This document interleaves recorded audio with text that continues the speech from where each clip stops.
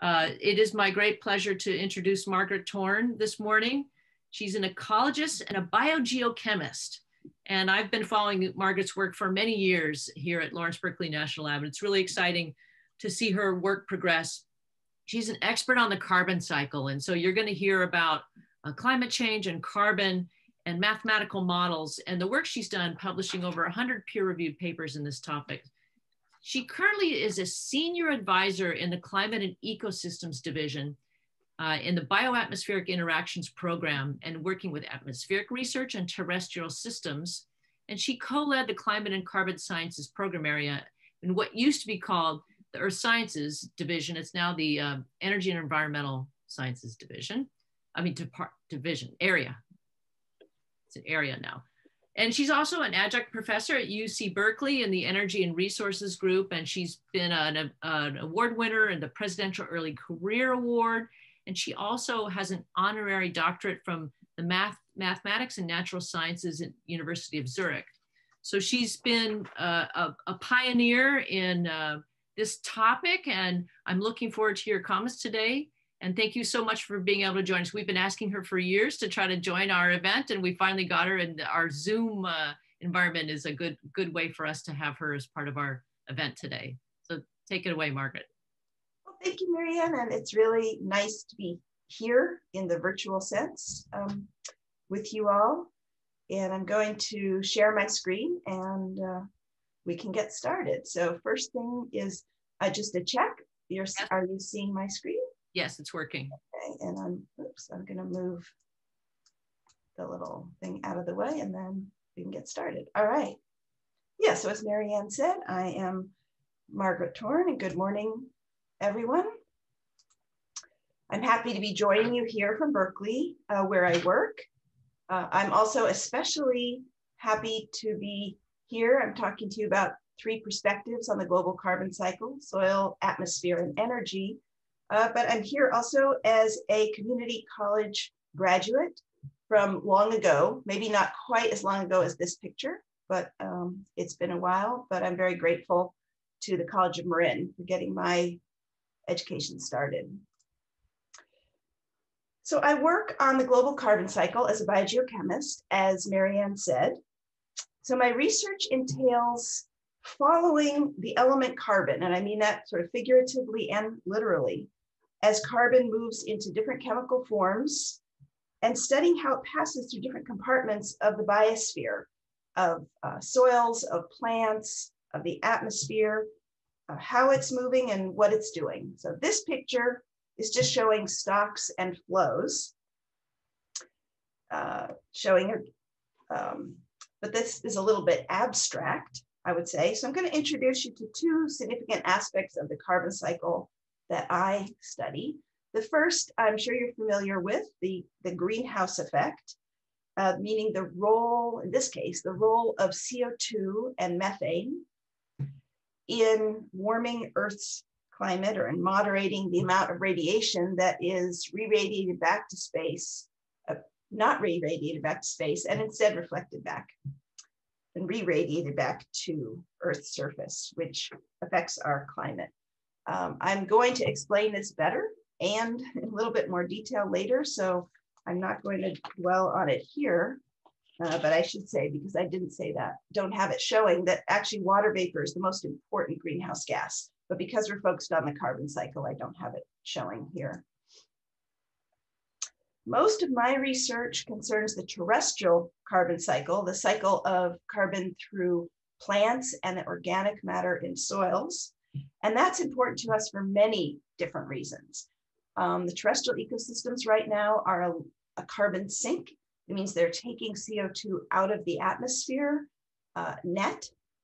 And that is actually absorbing about 30% of anthropogenic CO2 emissions each year. So the atmospheric CO2 burden is not going up as fast as it would if we didn't have this terrestrial land sink where plants and soil are accumulating carbon. Uh, on the other hand, ecosystems can respond to climate in ways that release more CO2 or methane to the atmosphere, and that can create a positive feedback to climate warming. Uh, we depend on terrestrial ecosystem productivity for things like producing biofuels for energy, but maybe nearest and dearest to my heart uh, for food production. And um, it's just, to me, a fascinating complex system to study. So I'm particularly interested in soils, uh, but I'm happy to, to uh, entertain questions on any aspect of this after my presentation.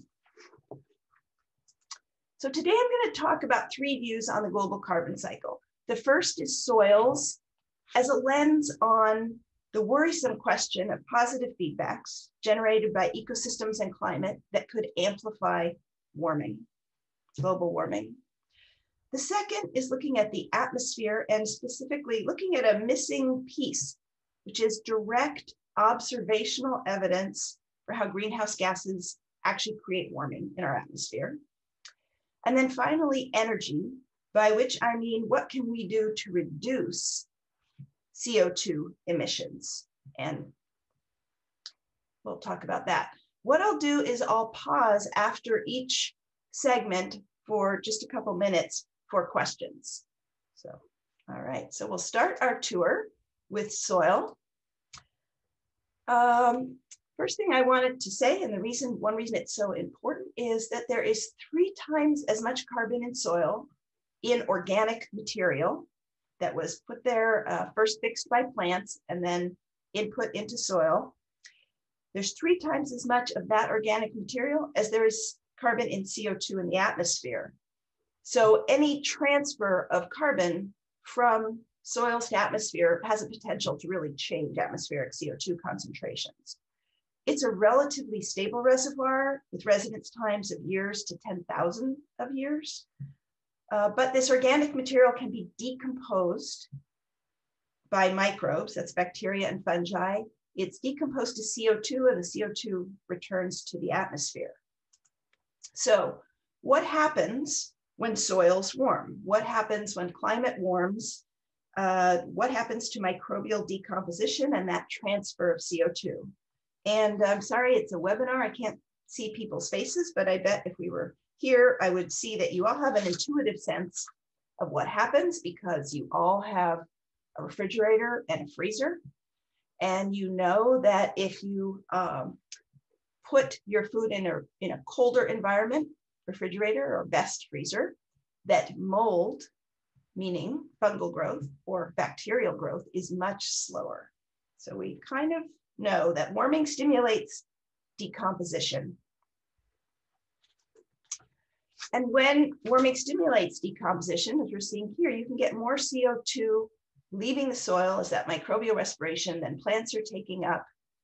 And that leads to more CO2 in the atmosphere. And if that's caused by climate warming, there will be a feedback or reinforcement to that.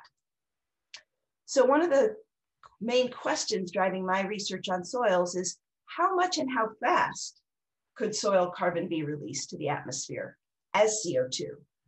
Um, it's a complicated question. It's hard to predict with models. And so we need experiments. So for the last six years, I've been developing, pioneering a kind of experiment where we are warming the whole soil profile. This is our field site. It's a coniferous forest in the Sierra Nevada.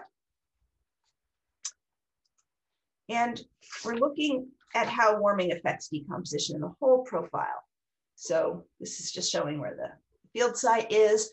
The middle is a schematic of sort of modeling, schematic, modeling that we did ahead of time to see if we were to put vertical heating rods deep into the soil, could we warm it?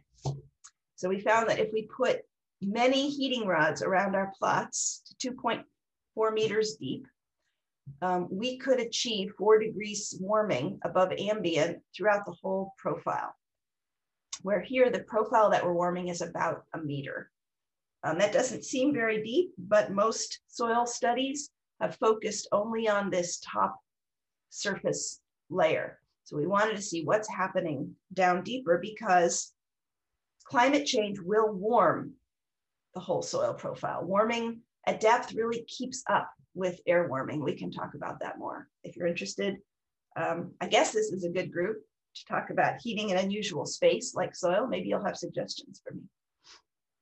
All right, so here's a picture of a research plot.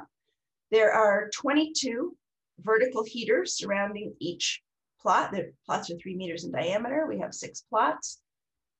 And we also have a couple um, very shallow cables here in the, near the center to help warm the surface because of course we're re-cooling, re-radiating space a little quickly, more quickly at this surface. And then we're measuring all different aspects of the carbon cycle, CO2 efflux to the atmosphere. Uh, we have tension lysimeters to measure dissolved organic carbon movement. We have gas wells. We put in, uh, take little samples to see what's happening with CO2 production at depth and so on. So the first two years of results from this experiment were written up in a paper by postdoc Caitlin Hicks Pries. Um, and I'm going to show you some of those results, what happens when we warm. So the first thing I want to say is that the heaters worked. They maintain four degree warming. I'm showing here the difference in warming between the blue, which is the control plots. Maybe I should show you. This is soil depth. I now realize that's an unusual way to have a plot for people who don't study soil. Um, there's the surface at zero. This is a meter deep. We're looking at temperature on the x-axis.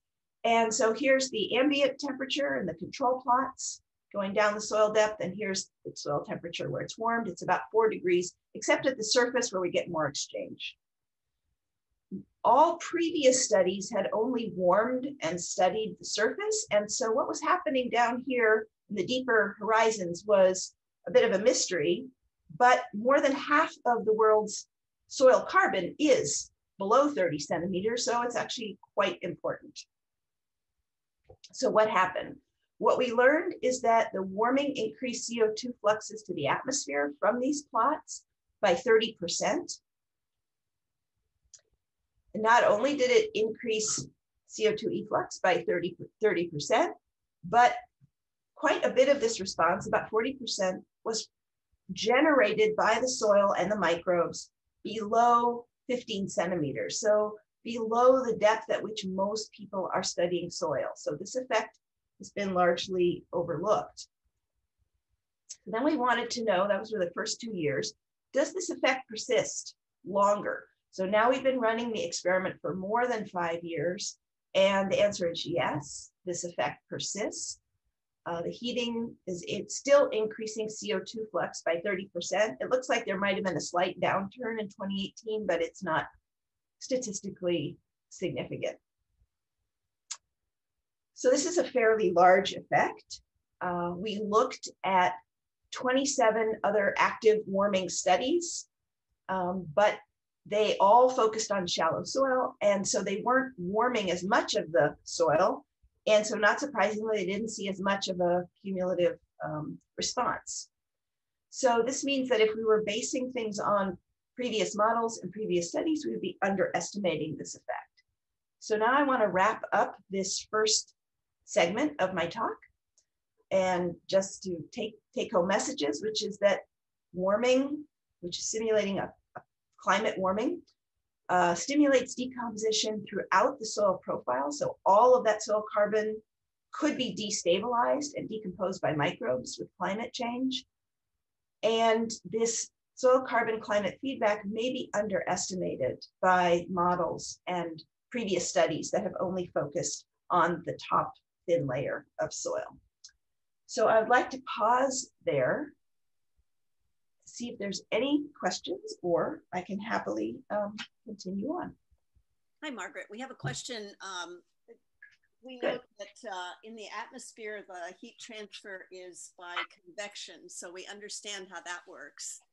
But uh, in soil, it seems like it's more a different kind of heat transfer. So even if the soil levels at a lower level are uh, warmed, how does that translate working up through the soil? Yes. So first thing I'd say is that uh, conduction is very important in soils.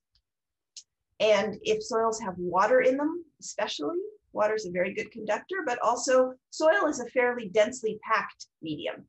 So heat, I think I just said the wrong thing. I said soil is conducted. Heat is conducted. and um, with climate warming, you actually have the warming of the air, the atmosphere above, and that is conducted down to into the soil. The other way that heat is transferred from a warming climate or just from climate into soil is through rainfall. Water has a fairly high heat capacity and it can be warmer than very cold soil. This is true in the Arctic where I work. If you have rain falling, that water is warmer than the ice and permafrost below, and it brings a lot of heat into the soil.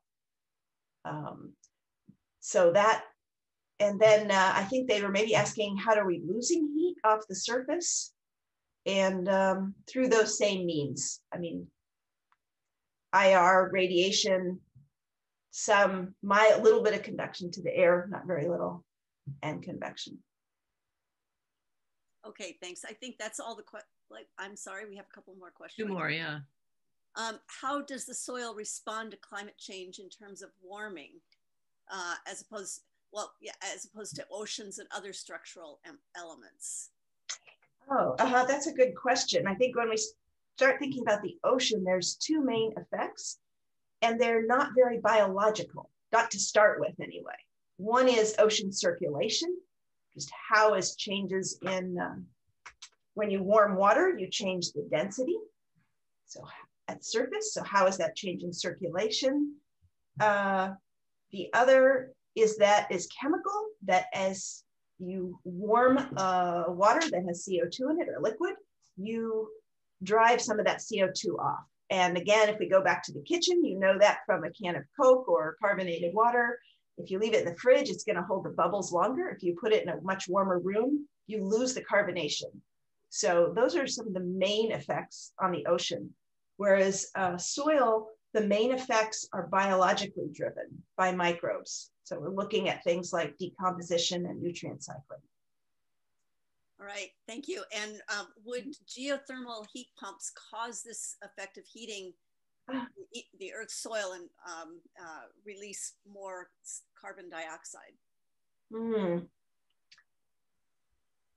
I, I'd have to say, sort of as a uh, kind of a global issue, no, not. Locally, where you are heating soil, you know, within meters of if you have heat pumps that are, and of course you don't want that, you don't want it leaking heat near the surface. You want it to come up to the building where you want that heat. But um, I think that would be a very local phenomenon. However, there's other people uh, on this webinar who will be better able to answer that question. Okay. Um, we have a question, a simple question of uh, what percent of the atmospheric carbon dioxide is attributable to soil decomposition, I suppose, in contrast to the rest of it? What is the oh, yeah. relative balance? Right.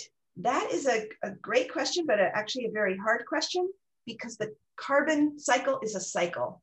And so, um, as we're seeing in this picture on the slide that I'm showing, you've got soil carbon being respired as CO2. CO2 is also continually being taken up by plants. It's exchanging with the atmosphere. And so it's hard to attribute a, an, a given increase to one part of this process. Um, but in the future, if there's warming and if this 30% effect that I'm talking about does take place, uh, that could lead to an effect that's about uh, 20% of what the anthropogenic increase will look like. So actually a very large number. Right. That's uh, yes. these are significant numbers. Mm-hmm. Uh, the last question is, uh, can you just briefly summarize how carbon is bound in the soil and released through warming? I think yeah. you kind of danced oh. around that just to Yes, I did. And thank you. Because that's actually more what I, I study. So when plants photosynthesize, they form tissues like leaves, wood, uh, grasses. That material and roots. That material dies or is shed by the plant in the fall so it's this nice organic tissue. It's incorporated into the soil as little small organic molecules.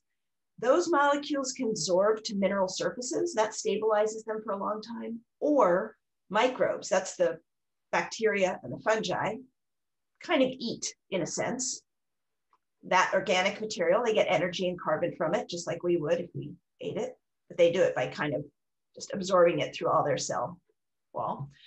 Uh, and then they die or they produce compounds. But either way, their cell wall material becomes most of the organic matter that's in soil.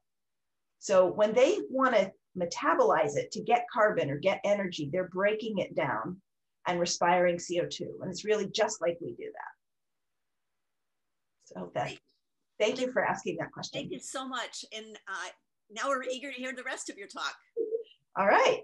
So now we know warming soils can release more CO2 to the atmosphere. And so the next part of this is um, how does that CO2 affect our climate?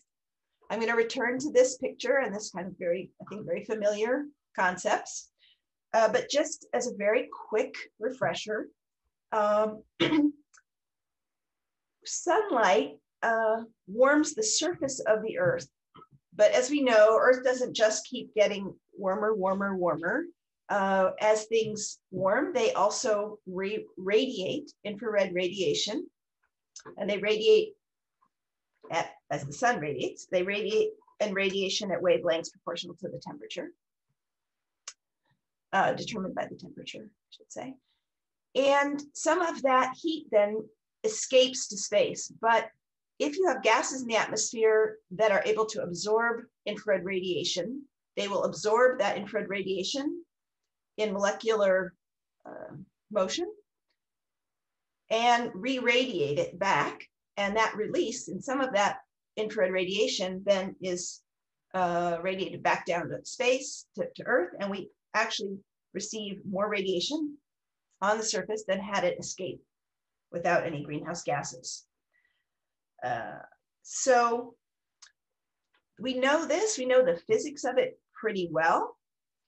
Um, there are good models and physical um, descriptions of the full spectra of re-radiation by CO2 and, and methane, we have that here, um, back to Earth's surface. But there had not been empirical confirmation of exactly how increasing CO2 was affecting downwelling radiation to Earth's surface in the actual atmosphere and not in a lab. That plus this graph motivated the study I want to tell you about. Um, so we all know CO2 concentrations are going up. This is a famous Keeling curve, it's called, named after Ralph Keeling, who, or Dave Keeling, who started this, um, these measurements. Uh, he and his son has carried them on. So we see CO2 increasing over time. That's due to anthropogenic emissions of fossil fuel from cement manufacturing, from uh, land use change. But what you'll also see on this plot that's of interest to me as a terrestrial biogeochemist, these little sawtooths. These sawtooths are variation in CO2 concentration in the atmosphere each winter and summer, driven by the terrestrial biosphere. In the summer, we have plant photosynthesis is dominant and it draws down CO2. And in the winter, respiration is the dominant process and uh, CO2 concentrations go up. So this little sawtooth is the kind of breathing of the biosphere or that balance between um, respiration and photosynthesis. So we wanted to use both that trending increase and the little sawtooth to look at the observe empirically the effect of atmospheric CO2 through the whole atmospheric column on the infrared radiation absorbed at the Earth's surface and that additional radiation from the trend in CO2 is called radiative forcing. Radiative forcing is the term that the IPCC and climate scientists give to that additional climate warming or forcing that we're getting from enhanced CO2 over pre-industrial. And the uh, fancy radiative um, calculations were done by Dan Feldman and Bill Collins shown here. And a paper published in 2015. And then we have a second paper that's published on methane a few years later. So the study was enabled by the Department of Energy having two research sites, one in the Southern Great Plains, one on the North Slope of Alaska, that contain a very specialized instrument that measures all the wavelengths of downwelling radiation very finely. It was also enabled by work that Sebastian Biraud and I was doing uh, measuring atmospheric CO2 through the whole profile.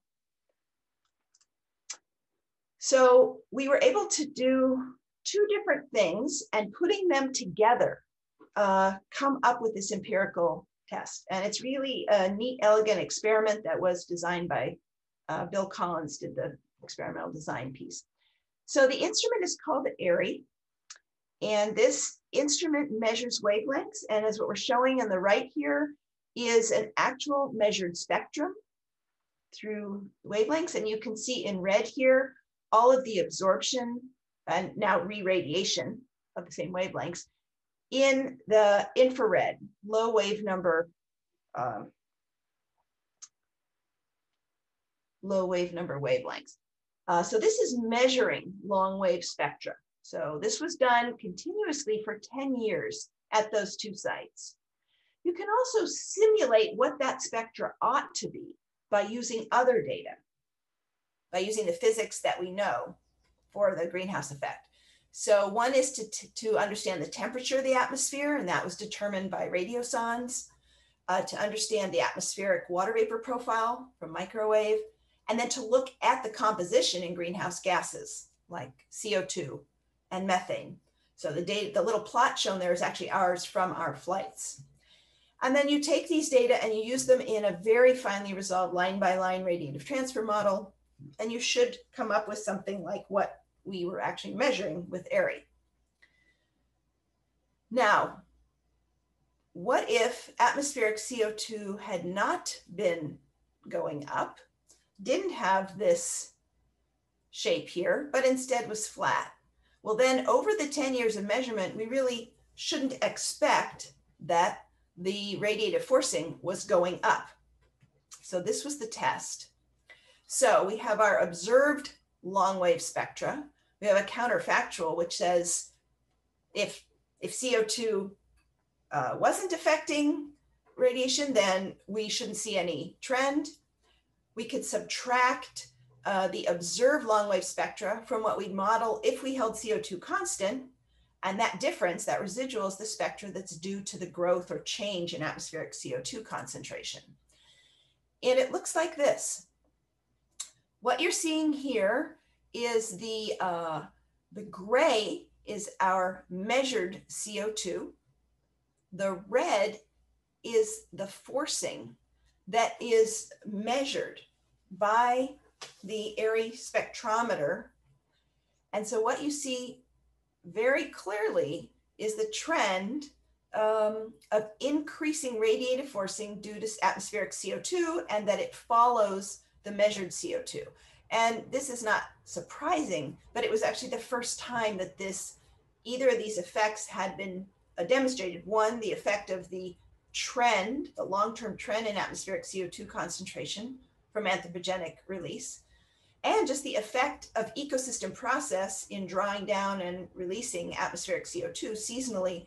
How was that changing radiative forcing? And as you can tell, the effects are quite large. Total forcing from 1750 to 2011, and that's about um, maybe not remembering this right, it's about going from 270 ppm to I think 370, 370 something ppm CO2 was 1.8 watts per meter squared. Um, but the seasonal cycle is actually quite large. It's 0.5 watts per meter squared. So it's showing that the biosphere is having an effect uh, over time, not over seasonal cycles, but kind of balancing out, and that the anthropogenic trend of about 0.2 watts per meter squared in this decade is quite detectable over that signal.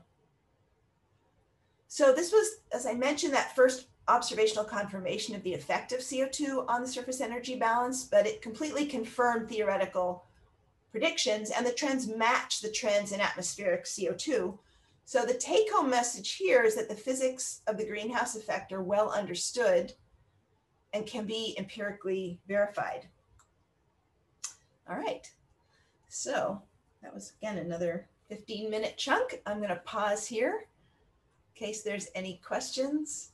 Uh, don't ask me about the line by line code, please, because I won't Uh, Margaret, we don't have any questions yet, but I think All your statement in yellow is is really profound. That the absolute the physics are well understood, well documented. Yeah. And and empirically verified. That is that is a profound statement. Yeah. And so it's worthy of a moment just to just to look at it. Um, It is. Uh, these are not things we're depending on models for. We're not, um, yeah, this is not a guess. Uh, you can, we know.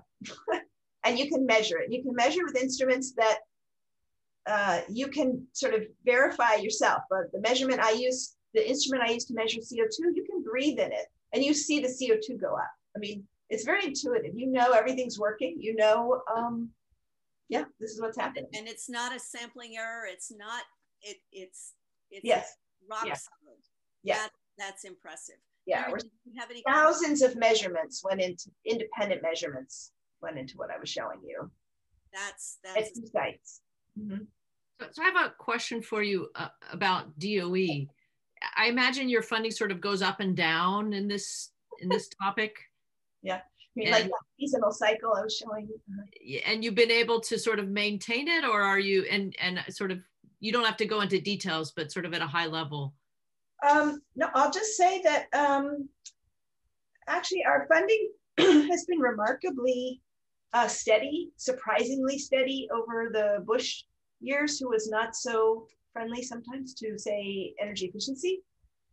Uh, but fortunately, the um, in the last four years, uh, Congress chose not to pay attention to the president's budget request, and they did what the Congress thought was the best thing to do, and that maintained steady funding. Good. DOE hmm. has maintained its commitment to studying. They started out this whole line of work by studying the environmental impacts of energy use. So that led them to CO2, and they were actually DOE a pioneer in studying carbon and carbon dioxide. Margaret, we do have one additional question, and that is a question about any sources of CO2 beyond anthropomorphic. Yeah, absolutely. Um, there are, from the, we think back to the first part of the talk, uh, there are always CO2 being released from soils and also from land, natural land disturbance, uh, like wildfire disease. So we get trans when forests die or die back. That's a transfer. Um, volcanoes naturally were and geologically are a source of CO2 to the atmosphere at about 0.3 petagrams per year compared to a, the current anthropogenic release for fossil fuel, which is about nine. So 0.3 versus nine. So this is a big perturbation that we have right now. Yeah. Oh, you are muted, Jamie, in this world of Zoom. That's fine. I'm turning off my video and, and Ah. sending it back to you. All right, so we'll continue on our grand tour, our global tour of the carbon cycle. All right, so now we have the final piece, uh, confirmed that CO2 traps as much radiation as we projected it would. And now we're to how do we stop that trend of increasing CO2 concentrations? So to avoid the worst of anthropogenic climate change, the IPCC or Intergovernmental Panel on Climate Change has concluded that we have to stay below 1.5 degrees warming. Uh, some people say less, but in any case, just achieving this goal requires that our global societal greenhouse gas balance is net neutral by 2050. Uh, that on net, we don't release more CO2 to the atmosphere. There can be some gross emissions, but there's got to be some compensation. And our now uh, certified president elect, Joe Biden, has made carbon neutrality by 2050 a center of his environmental platform. Uh, that also reminds me to pause that, like you, I, I have to say this has been a, you know, unprecedented, strange, pretty awful uh, 48 hours. And um, if I'm moving a little slow today, I don't know if I am. I was a little distracted yesterday, as I'm sure you all were too. Nevertheless, this still is facing us as an important question uh, to deal with. And the questions that we focused on in terms of how do we get there one is can the US reach net zero CO2 emissions from energy and industry by 2050? Can we do it with sort of commercial and near commercial technology? Do we have the means in hand? Is it feasible? Uh, what is the least cost pathway and how much would that cost? And what would be the impact of behavior like uh, more energy efficiency and energy efficient behaviors, lowering demand? Or if we sort of tie one hand behind our back and limit decarbonization options, uh, which we might choose to do as a society. For example, if we don't want to build more nuclear power. so I'm going to talk about results from a study that'll be published this month, January 2021, in the AGU or American Geophysical Union Premier Journal, AGU Advances. It's called Carbon Neutral Pathways for the United States.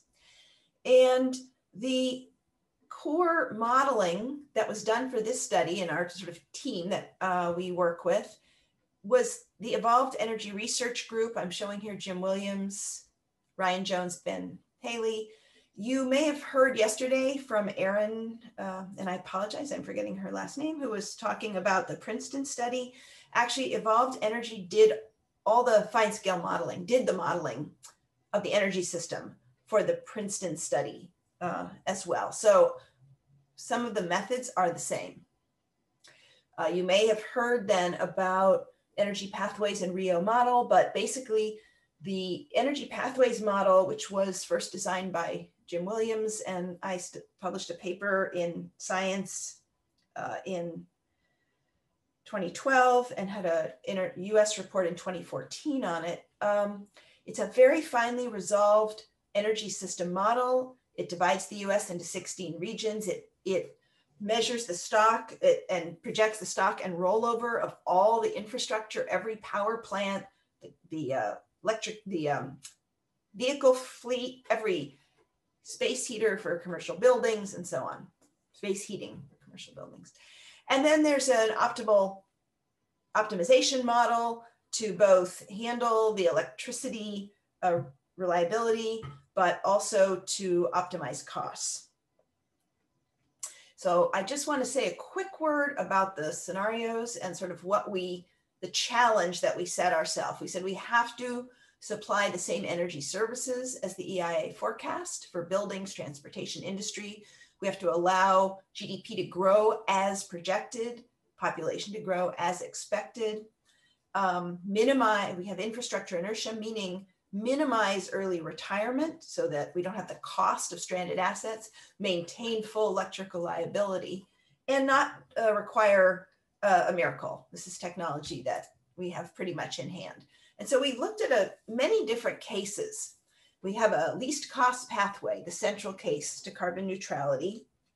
That was pretty much technology agnostic and just um, tried to find the least expensive way to do this. And that's the case I'll focus on but we also evaluated cost sensitivities, so high and low fossil fuel prices and high and low technology costs like solar. Then we also looked at various constraints. One would be limits on the amount of land available for renewable energy and biomass. You probably heard yesterday how much land is taken, would be required for uh, decarbonization build out. Uh, what if consumers don't want to buy electrical electricity using end uses like EVs? Um, what if consumers can reduce demand? Uh, what if we decide we're going to go 100% renewable primary energy and not have any nuclear? So that's that scenario. And can we even achieve net negative emissions? So, excuse me one second.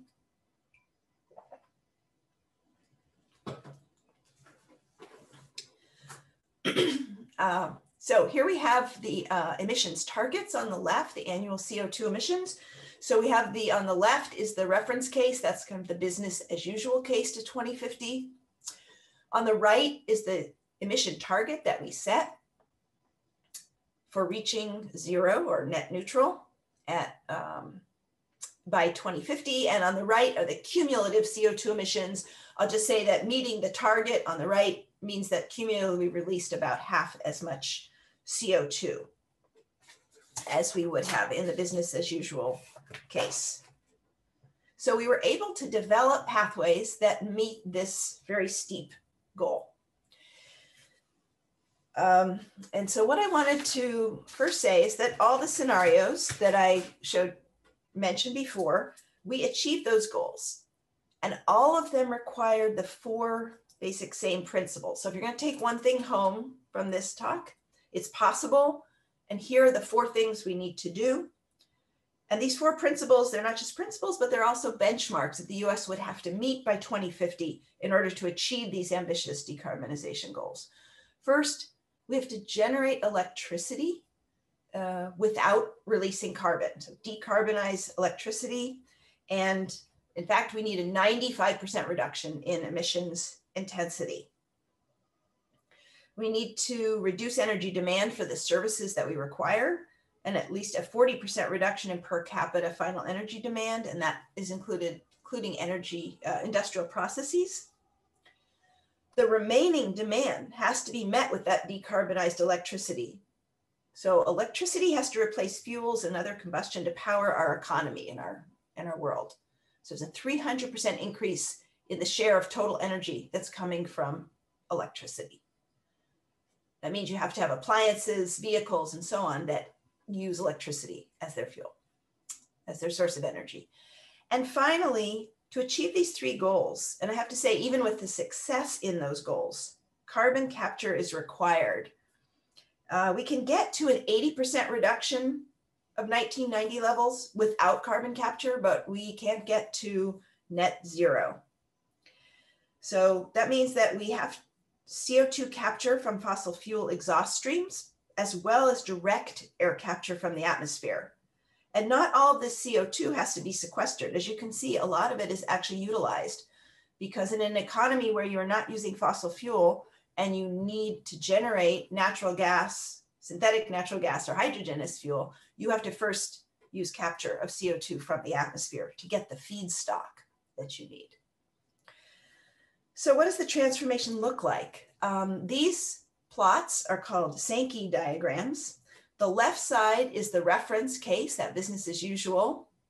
It's what the atmosphere, it's what the economy looks like now in 2020. So I'm sorry, I should call it, this is the 2020 current case. This is 2050 with that central or lowest cost case. Uh, for each of these plots, the left side is showing primary energy, the right side is showing final energy, and the middle is showing all the different transformations that the energy goes through in form to get to that final use. The thickness of the line is showing you energy flow in exajoules. So the first thing to notice is that the 2050 central case is just a lot shorter than the 2020 reference. It means overall energy use has gone down a lot. Second, the fossil fuel sources here have shrunk to very little petroleum, a little natural gas. Second, what's in their third, what's in their place is fossil, it's a uh, solar and wind, so the renewable energy case. And a lot of transformation, the one I wanted to point out especially is the amount of electricity that is now going to fuel production. So using electricity, for example, over generation that would have been curtailed to produce hydrogen, uh, methane for fuels for liquid transportation and industry. So a lot of, okay. Um, I won't have time to go into it today, but um, it's also possible to have 100% renewable case. And in this case, uh, nuclear was phased out by 2050. So there's a lot more wind and solar. It takes up a lot of land space uh, and there's a bit more biomass in that case. So I said that decarbonization was a transition of, uh, I should say, is a transformation of infrastructure.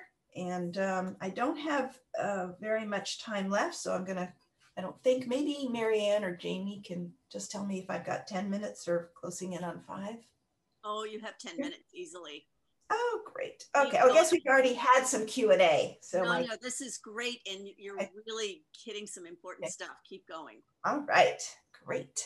So um, the energy system transformation that was sort of illustrated by those Sankey diagrams is achieved by transforming infrastructure. And this slide is showing infrastructure that is involved in two thirds of US CO2 emissions. So electricity generation, vehicles, and buildings, residential and commercial, but this is only showing residential. So let me just show a few numbers to highlight the uh, sheer magnitude of this infrastructure overhaul. So first, our electric capacity triples here. If we look at vehicles, um, nearly 300 million new electric vehicles must be added to the fleet. Of the 296 cars and light trucks, there are 280 million, I should have said 296 million cars and light trucks. More than 280 million are battery operated EVs in this scenario. Uh, similarly, for heat pumps, um, they become very widespread for space and water heating. Uh, 119 million out of 147 million space heating uh, devices are heat pumps. And for water heating, 88 million out of 153 million installed devices would need to be heat pumps. And then electric resistance heaters make up most of the reminder, remainder. And the story for commercial buildings is similar, and Marianne and other experts can tell us a lot more about that. But um, I do want to say here, when we're looking at the electric capacity, and at all of these that the idea is to change that each new purchase has to be pushing us in the right direction because you have to get um, natural turnover to work for you or it becomes very expensive. Uh, these pathways avoid early retirement. They use the natural lifetime. Uh, the only early retirement was coal. Scenario. Um, spending. Um, so we might wonder what does it cost? So this, this graph is showing historical energy system cost as a percent of GDP for the last 50 years or almost 50 years. It's been quite variable. You can see the oil price shocks there. Um, but energy as a, as a percentage of our GDP is going down and it will go down even if we are mitigating climate change. It just won't go down by quite as much. So, uh, but that depends on what we assume about future fuel price as well. So let's just summarize saying that the net cost of a carbon neutral energy system is about 0.2 to 1.2% of GDP in 2050, and that's across many of these different cases. We actually project um, that you could have a net uh, savings at some of the time, um, but it's generally slightly higher than business as usual, but still still near the low end of historical energy spending in the U.S. And um, increased investment in the zero carbon technologies, which is quite a lot, but is offset by reductions in fossil fuel spending. And also, what's missing, what's offset here, is the great volatility in fossil fuel prices, which can go up, which are a source of international uh, policy concern. Um, this projects that a world that depends on capital investment for um, in the decarbonized scenario has a much more steady and predictable amount of cost going to energy as compared to a fossil fuel driven economy. Um, I'm not going to say very much about fuels except to say that um, not everything can be powered directly by electricity. Uh, for example, we might need to use hydrogen fuels, hydrocarbon fuels. Now, those could be derived from electricity. Margaret, Uh, I'm going to yeah. jump in real quick. Um, you're getting a few questions coming up, so uh, and you've got about five minutes left, so I'll let you. All right. Time. Thank you. Okay, great. So I'm going to skip the rest of this except say that fuels are still important. Be- that's one of the reasons. The point I want to make is that carbon capture is still necessary. even in a 100% renewable energy case, where you may not need to sequester carbon because you're not scrubbing it from a uh, waste stream, but you still need CO2 for power to gas and power to liquids uh, in that scenario. So that's the point I wanted to make. So um, in 20 seconds, let me just say that although there's uncertainty about some of the out years for the next decade, we know what needs to be done. So this is really good for policymakers. There are clear benchmarks that we need to reach in the next 10 years by 2030, but I don't have time to go through them. And I'll summarize by saying it's feasible to achieve net zero greenhouse gas emissions from US energy and industry while supporting economic growth and energy services. Those the constraints raise costs, uh, but we have clear guidance on what we need to do now, regardless of which scenario we're going to follow. Carbon capture is always required to provide carbon feedstock, to allow carbon neutral fossil fuels, especially in the interim, and to offset any residual fossil fuel use. and there's very large land use, which is something that I'm working on more. Uh, let's see. I think I won't tell you this, just to say that a, an artist has made a really beautiful rendition of one of the Sankey diagrams. So that'll be the cover of the uh, AGU Advances article. And I thank you for listening to Three Views on the Carbon Cycle. Margaret, that was tremendous. That was, yeah, we've been trying to get you for a long time uh, because the folks here are looking at building operations and how we can make them more efficient. And this just framed it beautifully. We really appreciate it. We have quite a few questions. Um, okay. Um, so a couple of things. One is we will get through the questions that we can, and then we have the capability of having a meet the speaker afterwards. Do you have a few, do you have time to yeah. stick around? Um, yeah. Okay, uh, so there, there is a meet the speaker uh, option in the, uh, in the structure of this workshop. Um, so if we don't get through everything, we'll, we'll work to get, get this uh, set up. Um, there was an estimate of, uh, there was a question about embodied energy in the model um, and whether there was an estimate of the percentage of uh, embodied energy. I think this is going back further in your talk. Yeah, so um, there is in the sense that all all industrial activity, so all production of a new power plant or, or everything was accounted for. Um, but imports, embodied energy and imports is a more complicated picture. Uh, let's shift that one to um, yeah. To the meet the speaker section yeah. for a little more elaboration. Um, there's a question here about the negative impact from natural gas and coal, electricity production, fossil fuel, and internal combustion engines and so forth. But what is the negative impact uh, uh, or the carbon footprint of producing from energy sources such as solar panels and batteries, and kind of uh, uh, maybe a measure of that with respect to the fossil fuel. So the part of this then follows from the previous question on embodied energy. So you had to produce that solar panel. So that takes energy, land, and materials. Uh, the materials are actually quite small. The land footprint for producing the solar panel is quite small. But solar panels and wind have a larger um, footprint on the land than, than other forms of energy. Um, not quite as bad as you'd think if you take into account the coal, coal mining or nuclear power refining and so on. But you still have a very large land footprint and I think that's going to be the main environmental issue with solar and wind is how do we balance land use between renewable energy build out and very other very important demands for land like biodiversity and habitat conservation, growing food where people are going to decide to live.